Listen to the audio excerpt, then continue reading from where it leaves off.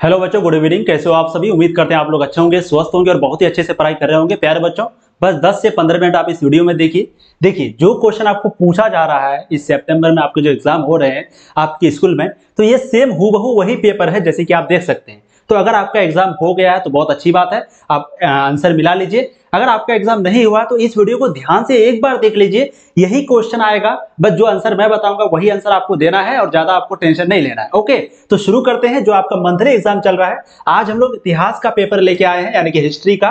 और ध्यान से सिर्फ़ आप क्या करिएगा सुनिएगा और आंसर को एक सक, एक जगह हो सके तो कॉपी कलम निकाल करके नोट कर लीजिए और याद कर लीजिए। ठीक है? चलिए पहला क्वेश्चन देखिए पूछा गया है आपके समक्ष में। टोटल तीस क्वेश्चन देगा तीस में से पच्चीस ही बनाना होता है और पच्चीस ही बनाना। पहला क्वेश्चन मोहनजोदड़ो किस नदी के किनारे स्थित है? यह क्वेश्चन आप आपको कई बार करा चुके हैं। मोहनजोदड़ो जो है वो आपका सिंधु नदी के किनारे है। ऑप्शन बी आपका सही हो जाएगा, सिंधु नदी। ये क्वेश्चन पूछा गया था। अगला देखिए क्वेश्चन नंबर टू कौन सा हड़प्पा स्थल राजस्थान से संबंधित है? देखिए क्वेश्चन कितना घुमा गया है। पहले क्या पूछा था? कालीबंगा कहाँ पर है? तो कालीबंगा राजस्थान में। अब पूछा गया, कौन सा हरप्पा स्थल है जो कि राजस्थान में है? तो बिल्कुल राइट आंसर यहाँ पर आपका ऑप्शन सी हो जाएगा सेकंड नंबर क्वेश्चन का। यही क्वेश्चन आपको पूछा गया, यही सब। बहुत आसान आसान अगला देखिए क्वेश्चन नंबर थ्री 1922 में मोहनजोदड़ो की खोज किसने की थी? देखिए कितना आसान है, बिल्कुल। 1922 में मोहनजोदड़ो की खोज की थी रखलदास बनर्जी ने, जिसको हम लोग शॉर्ट में आरडी बनर्जी कहते हैं। रखलदास बनर्जी ऑप्शन बी यहाँ पर सही हो जाएगा थर्ड नंबर प्रश्न का। अगला देखिए प्यारे बच्चों क्वेश्चन नंबर फोर है। हड़प्पा सभ्यता में विशाल स्नानघर के अवशेष कहाँ से प्राप्त हुए थे? तो ये जो विशाल स्नानघर का अवशेष है, जहाँ पर बड़े बड़े नहाने के जो रूम थे, वो कहाँ पर थे? तो प्यारे बच्चों, वो आपके थे मोहनजोदड़ो में। ऑप्शन आपका डी यहाँ पर सही हो जाएगा। यही सब क्वेश्चन है, बहुत ही आसान क्वेश्चन है। अगला देखिए क्वेश्चन नंबर फाइव सिंधु घाटी सभ्यता के निवासियों को किस धातु का ज्ञान नहीं था? बताइए, सिंधु घाटी सभ्यता के निवासियों को किस धातु का जानकारी नहीं था? हम सब जानते हैं उन लोगों को लोहा के बारे में बिल्कुल भी जानकारी नहीं था। ऑप्शन सी आपका फाइव का बिल्कुल सही आंसर हो जाएगा। अगला देखो प्यारे बच्चों, क्वेश्चन नंबर सिक्स है। निम्नलिखित में से प्राचीनतम वेद कौन सा है? बताइए, सबसे पुरानी वेद। हम सब जानते हैं टोटल चार वेद है, जिसमें से सबसे पुराना वेद जो है, वो है ऋग्वेद। ऑप्शन ए सही हो जाएगा सिक्स नंबर प्रश्न का। जितना भी क्वेश्चन आपको करवाए हैं, जो अच्छे से पढ़ रहे होंगे, वो सारा आंसर दे देगा। अगला देखिए क्वेश्चन आपका सेवन उपनिषदों की रचना कब हुई थी? उपनिषदों की रचना यहाँ पर आपको काल बताना है तो इसका जो काल है, वो हो जाएगा उत्तर वैदिक काल। ऑप्शन बी आपका सही हो जाएगा। कोई क्वेश्चन अगर नहीं आया तो छोड़ दीजिएगा, क्योंकि पच्चीस ही बनाना है, ठीक है? तो उपनिषदों की जो रचना है, वो हुई थी उत्तर वैदिक काल में। ऑप्शन आपका बी यहाँ पर सही हो जाएगा। अगला देखिए, बोध गया का संबंध किस धर्म से? आप बताइए, बोध गया में क्या हुआ था? गौतम बुद्ध को शिक्षा की प्राप्ति हुई थी। इसका मतलब बोध गया और गौतम बुद्ध कौन है? गौतम बुद्ध जिन्होंने बौद्ध धर्म की स्थापना करी, है ना? तो इसका मतलब हुआ कि बोध गया का जो संबंध है, वो है आपका बौद्ध धर्म से। ऑप्शन डी आपका सही हो जाएगा। क्योंकि बोध गया, में गौतम बुद्ध शिक्षा प्राप्त किए थे और गौतम बुद्ध जिन्होंने बौद्ध धर्म की स्थापना करी, इसलिए राइट आंसर आपका डी हो जाएगा। बोध गया का संबंध है बौद्ध धर्म से। अगला देखिए सलेखन किस धर्म से संबंधित है? सलेखन बहुत आसान इंपॉर्टेंट है और बिल्कुल इसका भी राइट आंसर हो जाएगा ऑप्शन बी जैन धर्म। तो सलेखन जो है, सुलेखन, सलेखन जो भी बोलिए, इसका जो संबंधित है प्यार बच्चों, वो है जैन धर्म से, जैनिज्म से। अगला देखो question number ten Gautam Buddha. बिल्कुल वेरी गुड बिल्कुल आप लोग भी सही आंसर दे रहे हैं वेरी गुड बहुत बढ़िया। अगला देखिए, गौतम बुद्ध का जन्म कहाँ पर हुआ था? हम सब जानते हैं, गौतम बुद्ध का जन्म लुम्बिनी, यानी कि नेपाल में हुआ था। ऑप्शन ए आपका सही हो जाएगा टेंथ नंबर प्रश्न का। अगला देखो, प्यारे बच्चों क्वेश्चन नंबर इलेवन प्रथम बौद्ध संगीति कहाँ हुई थी? देखिए, यहाँ पर आपको बौद्ध संगीति पूछा गया है। ये बौद्ध संगीति को अच्छे से याद रखिएगा, क्योंकि क्वेश्चन आपको पूछे जाते हैं, ठीक है? तो प्रथम बौद्ध संगीति जो है, वो हुआ था राजगृह में। ऑप्शन सी सही हो जाएगा इलेवंथ का। और बिल्कुल प्यार बच्चों, आप लोग भी सही लगा रहे हैं। वैसे ये क्वेश्चन भी पूछा गया है। अगर आपको जैन जैन संगीति पूछता, देखिए, बहुत सारे लोग कंफ्यूज हो जाते हैं। कंफ्यूज नहीं होना। प्रथम बौद्ध संगीति की बात हो रही है गौतम बुद्ध की मृत्यु के बाद उनके बारे में जो आ, एक तरीके से प्रोग्राम हो रहा था उनके बारे में जो शिक्षा वगैरह का बंटवारा हो रहा था तो पहली बार जो हुआ था राजगृह में हुआ था प्रथम बौद्ध संगीति। और अगर आपको पूछता जैन संगीति तो जैन संगीति वो हो जाता पाटलिपुत्र। लेकिन क्या पूछा गया? प्रथम बौद्ध संगीति आपके राजगृह में हुई थी ऑप्शन आपका सी सही हो जाएगा। अगला देखिए क्वेश्चन नंबर ट्वेल्व जैन धर्म के चौबीसवें तीर्थकर कौन थे? हम सब जानते हैं जैन धर्म के चौबीसवें तीर्थकर थे महावीर। ऑप्शन आपका ए यहाँ पर सही हो जाएगा। जैन धर्म के चौबीसवें तीर्थकर महावीर थे, आपको हम कई बार बता चुके हैं। अब देखो अगला प्रश्न। प्रथम जैन संगीति कब हुई थी? अब ये पूछा गया कब हुई? ये यहाँ पर ये नहीं पूछा गया कि किस, कहाँ पर हुई थी। कहाँ पूछता? तब आप राइट आंसर लगा सकते थे। क्या? पाटलिपुत्र। लेकिन पूछा गया कब हुई? तो राइट आंसर हो जाएगा प्यारे बच्चों, तीसरी शताब्दी ईसा पूर्व में। थर्टीन का बिल्कुल सही आंसर आप लोग भी दे रहे हैं। थर्टीन का राइट आंसर तीसरी शताब्दी ईसा पूर्व में हो जाएगा। अगला देखिए, महावीर के बचपन का नाम। यहाँ पर महावीर का हो रहा है। जल्दीबाजी में देखिए एक बच्चा सिद्धार्थ लगा दिया क्योंकि गलत हो जाएगा। महावीर के बचपन का नाम था वर्धमान। ऑप्शन यहाँ पर डी आपका सही हो जाएगा फोर्टीन नंबर का। अगर आपको पूछा जाता, प्यार बच्चों, बचपन का नाम गौतम बुद्ध का, तब वहाँ पर होता वर्धमान। सॉरी सिद्धार्थ। ओके तो यहाँ पर महावीर के बचपन का नाम क्या था? वर्धमान। ओके प्यारे बच्चों वेरी गुड चलो, अब देखिए अगला प्रश्न मैं हिंदी में ही दिखाऊँगा इंग्लिश वाले भी समझ ही जाएँगे। अगला देखिए क्वेश्चन फिफ्टीन श्वेतांबर और दिगंबर का संबंध किस धर्म से है? तो हम सब जानते हैं श्वेतांबर और दिगंबर, इन दोनों का संबंध है जैन धर्म से। ऑप्शन सी आपका सही हो जाएगा। बाकी सुत्त पीटक त्रिपीटक विनय पीटक अभिधम्य पीटक सांची का स्तूप, ये सभी का संबंध बौद्ध धर्म से है, लेकिन श्वेतांबर और दिगंबर का संबंध जैन धर्म से है। शुद्ध पीटक किस धर्म का ग्रंथ है? तो हम सब जानते हैं शुद्ध पीटक जो है, वो आपका बौद्ध धर्म का ग्रंथ है। ऑप्शन ए सही हो जाएगा सिक्सटीन नंबर प्रश्न का। अगला देखिए क्वेश्चन नंबर सेवनटीन, ऋग्वेदिक आर्यों के सबसे प्रमुख देवता कौन थे? तो ऋग्वेदिक आर्यों के आवाज़ वगैरह तो जा रही है ना? जी, ऋग्वेदिक आर्यों के जो सबसे प्रमुख देवता थे प्यारे बच्चों, वो कौन थे? इसका जो राइट आंसर है, वो हो जाएगा इंद्र, है ना? सेवनटीन का राइट आंसर ऑप्शन ए हो जाएगा, बिल्कुल सही जवाब आप लोग दे रहे हैं और वेरी गुड बहुत बढ़िया आंसर आप लोगों का आ रहा है। अगला देखिए क्वेश्चन नंबर एटीन महावीर ने आप क्वेश्चन को थोड़ा ध्यान से देखिए। महावीर ने पहला उपदेश कहाँ पर दिया? यहाँ पर महावीर की बात हो रही है। क्वेश्चन को ध्यान से पढ़ना बहुत ज़रूरी है। समय आपके पास बहुत है। यहाँ पर पूछा गया महावीर के बारे में, ना कि गौतम बुद्ध के बारे में। अगर पूछा जाता है, गौतम बुद्ध ने प्रथम उपदेश कहाँ पर दिया?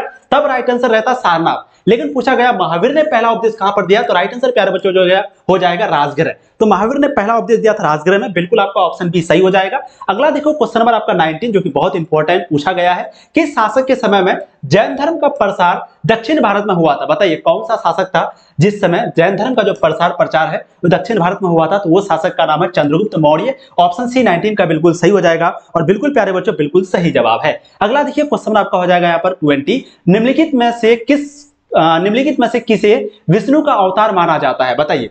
विष्णु का अवतार किसे माना जाता है? तो प्यारे बच्चों, ये माना जाता है बुद्ध को, ठीक है? ऑप्शन आपका बी सही हो जाएगा, ट्वेंटी का। बिल्कुल आप लोग भी सही जवाब दे रहे हैं। गौतम गौतम बुद्ध को जो है विष्णु का अवतार माना जाता है। ओके? अगला देखिए, हरप्पा स्थल आलमगीरपुर का संबंध किस राज्य से है? तो आपको एक हरप्पा स्थल, एक जगह था आलमगीरपुर। अब आपको बताना है, ये आलमगीरपुर का जो संबंध है वो मतलब कि एक तरीके से ये कहाँ पर है? तो ये आपका उत्तर प्रदेश में है ऑप्शन बी आपका सही हो जाएगा 21 नंबर प्रश्न का। अगला देखिए क्वेश्चन नंबर 22 हड़प्पा सभ्यता के किस स्थल को मृतकों का टीला कहा जाता है? हम सब जानते हैं मृतकों का टीला कहा जाता है, मोहनजोदड़ो को ऑप्शन डी आपके यहाँ पर सही हो जाएँगे। अगला देखिए, प्यारे बच्चों क्वेश्चन नंबर 23 हड़प्पा सभ्यता का विस्तार लगभग कितने वर्ग किलोमीटर में था? यहाँ पर देखिए, एक वर्ड यूज़ किया गया, लगभग। लगभग, हम लोग जानते हैं बारह लाख निन्यानबे हज़ार 660 किलोमीटर या छह सौ छियासठ, इतना किलोमीटर में फैला हुआ था। अगर इसको हम लोग लगभग में लेंगे तो लगभग में कितना हो जाएगा? तेरह लाख हो जाएगा। ठीक है? तो अगर लगभग पूछा जाए ऑलमोस्ट ऑलमोस्ट कितना था? तेरह लाख था। तो राइट आंसर आपका डी हो जाएगा तेरह लाख। बहुत सारे बारह लगा देंगे। बारह लगभग नहीं होगा। देखिए, बारह लाख निन्यानबे हज़ार छह सौ साठ मतलब सिर्फ़ और सिर्फ़ तीन सौ चालीस किलोमीटर कम था। ओनली तीन सौ चालीस। तो लगभग में तेरह लाख होगा। ठीक है? याद रखना। तो हरप्पा सभ्यता का विस्तार लगभग कितने लाख वर्ग में था? तेरह लाख ऑप्शन डी आपका सही हो जाएगा। अलेक्जेंडर कनिंगम द्वारा हरप्पा का सर्वेक्षण किस वर्ष किया गया था? बताइए आप लोग को क्लियर दिख रहा है। अलेक्जेंडर कनिंगम जो है, उसके द्वारा हरप्पा का सर्वेक्षण जो है, वो किस वर्ष किया गया? अठारह ऑप्शन बी ट्वेंटी का बिल्कुल सही हो जाएगा। आप लोग को आवाज़ वगैरह आ रही ना? मन के बनाने का मुख्य केंद्र कौन सा था प्यार बच्चों? मन के बनाने का जो मुख्य केंद्र है, वो था चंद्रहुद्रो ऑप्शन सी 25 का सही हो जाएगा। अब देखो अगला प्रश्न क्वेश्चन नंबर 26 बौद्ध स्थल बोध गया कहाँ पर है? तो ये बोध गया कहाँ पर है? बोध गया, ये बिहार में है, जहाँ पर गौतम बुद्ध को शिक्षा की प्राप्ति हुई थी। इसलिए राइट आंसर आपका ऑप्शन ए हो जाएगा 26 नंबर प्रश्न का। अमरावती का स्तूप किस राज्य में है? अब यहाँ पर अमरावती का स्तूप पूछा है, ना कि सांची का स्तूप। अगर सांची का स्तूप पूछता, तब यहाँ पर आप मध्य प्रदेश दे सकते थे। लेकिन आपको पूछा गया अमरावती अमरावती का स्तूप। और बिल्कुल आप लोग भी सही जवाब दे रहे हैं। बिल्कुल राइट आंसर हो जाएगा, आंध्र प्रदेश। ऑप्शन सी प्यारे बच्चों, बिल्कुल सही हो जाएगा। अगला देखिए क्वेश्चन नंबर ट्वेंटी आप ध्यान से देखिएगा। बौद्ध स्थल राजगीर का संबंध किस राज्य से है? तो बौद्ध स्थल जो राजगीर है, प्यार बच्चों, इसका जो संबंध है, वो है बिहार। राजगीर कहाँ पर है? बिहार में है ना? एक बार ज़रूर घूमने जाना, बहुत अच्छी जगह है राजगीर, ठीक है? अगला देखिए क्वेश्चन वैसे मैं भी नहीं गया हूँ बस सुना हूँ, जाऊँगा तो फिर ब्लॉग बनाऊँगा। अगला देखिए, कौन सा संप्रदाय भगवान विष्णु और उनके अवतारों की भक्ति में विश्वास करता है? बताइए, कौन सा संप्रदाय है जो कि भगवान विष्णु, ध्यान से सुनिएगा, कौन सा संप्रदाय है जो कि भगवान विष्णु और उनके अवतारों की भक्ति में विश्वास रखता है? तो हम सब जानते हैं, विष्णु जो है, वो वैष्णव संप्रदाय से हो जाएगा ठीक है? तो राइट आंसर क्या हो जाएगा? ऑप्शन ए वैष्णव संप्रदाय 29 का। अगला देखिए, जो कि बिल्कुल अलग ही क्वेश्चन है, जादू टोना और दैनिक अनुष्ठानों का वर्णन किस वेद में है? तो जादू टोना और दैनिक अनुष्ठानों का जो वर्णन वर्णन है यह आपका अर्थवेद, अथर्थ वेद में है। ऑप्शन आपका डी यहाँ पर सही हो जाएगा थर्टी नंबर प्रश्न का। ठीक है? अब थोड़ा सा सब्जेक्टिव भी आप लोग फटाफट से देख लीजिए। एक चीज़ आपको बताते हैं, हम लोग जो है, प्यार बच्चों हम लोग जो है पंद्रह अक्टूबर से, ध्यान से सुनिएगा आप लोग, यहाँ पर बहुत इंपॉर्टेंट चीज़ बताए जा रहे हैं, जिसकी अगर बिल्कुल भी तैयारी नहीं हुई है, ध्यान से सुनिए, फिर सब्जेक्टिव भी बताएँगे।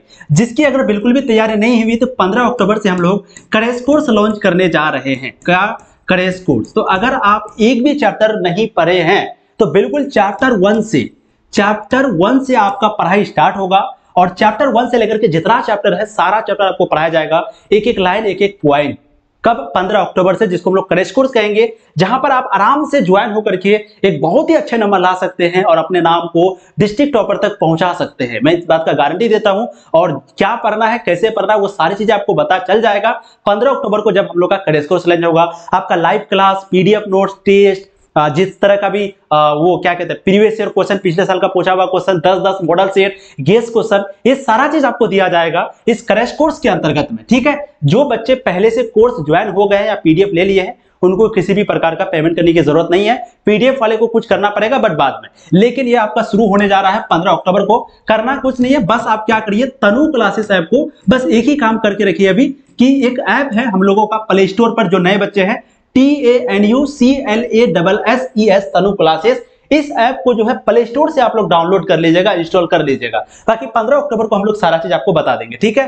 वेरी गुड चलो। अब थोड़ा सा सब्जेक्टिव देख लीजिए सब्जेक्टिव में क्या क्या पूछा गया है। चलिए, देखिए क्वेश्चन कितना आसान पूछा गया है, सारा लगभग पढ़ाए थे है कि नहीं?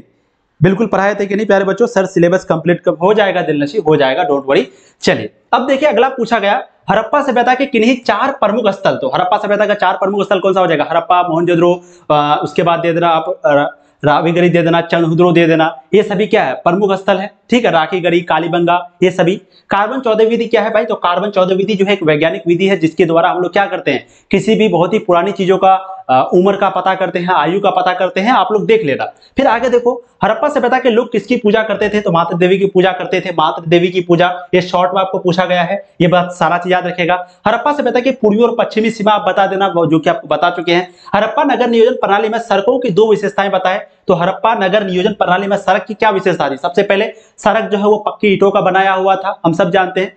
दो दो विशेषता पूछा है। तो सड़क जो है, वो पक्की ईटों का बना था। सड़क जो है, बिल्कुल समकोण पर बना हुआ था। सड़क के दोनों किराने नाला बना हुआ था। ये सभी क्या है, उसकी विशेषता है। ओके, अगला देखिए, जैन धर्म की दो महत्वपूर्ण शिक्षाएँ तो जैन धर्म की दो महत्वपूर्ण क्या? कोई भी धर्म क्या सिखाता है? हमेशा सच बोलो, किसी से झूठ मत बोलो, किसी का बुरा मत सोचो, सही रास्ते पर चलो, सीधे रास्ते पर चलो, चोरी ना करना। एक तरीके का बहुत सारा नॉलेज आपको दे चुके थे। स्तूप क्या है भाई? तो स्तूप जो है, एक प्रकार का सांचे का स्तूप के बारे में आप लिख सकते हैं, जैसे बहुत ही आसान क्वेश्चन है। स्तूप के बारे में आप आराम से लिख सकते हैं। लिंगायत संप्रदाय के बारे में आप आराम से लिख सकते हैं। जैन धर्म के दो योगदान लिखे आराम से हीनयान और महायान में दो अंतर लिखे बहुत ही हीनयान जो वर्ग थे, ये बहुत सीधा साधा था, श्वेत बहुत ये था, महायान, थोड़ा कट्टरपंथी था, आराम से लिख सकते हैं, ठीक है? फिर आगे देखो, प्यारे बच्चों, हरप्पा सभ्यता के धार्मिक जीवन, हरप्पा सभ्यता के वाणिज्य एवं व्यापार, भगवान बुद्ध के उपदेश देना है, छठी शताब्दी ईसा पूर्व में धर्म सुधार आंदोलन, उनके बाद भारत में शैव धर्म के आरंभ विकास। तो बस ये सारा क्वेश्चन था, जो कि बहुत आसान है, आप लोग एक बार देख लेना। ये सारा क्वेश्चन का आंसर आपसे आराम से बन जाएगा, यही क्वेश्चन आपको पूछा जाएगा, ठीक है? थैंक यू सो मच प्यारे बच्चों। उम्मीद करते हैं आपको आज का क्लास बहुत अच्छा लगा होगा। फटाफट से इस वीडियो को ज़्यादा से ज़्यादा शेयर करिएगा। जो जो दोस्त आपके इस क्लास को मिस कर गए ओके प्लीज़ आप लोग शेयर करिएगा, क्योंकि उनका भी तैयारी अच्छे से हो जाए और वो भी पास कर जाए। बाकी टेंशन मत लीजिए, बहुत आसान क्वेश्चन पूछा जा रहा है।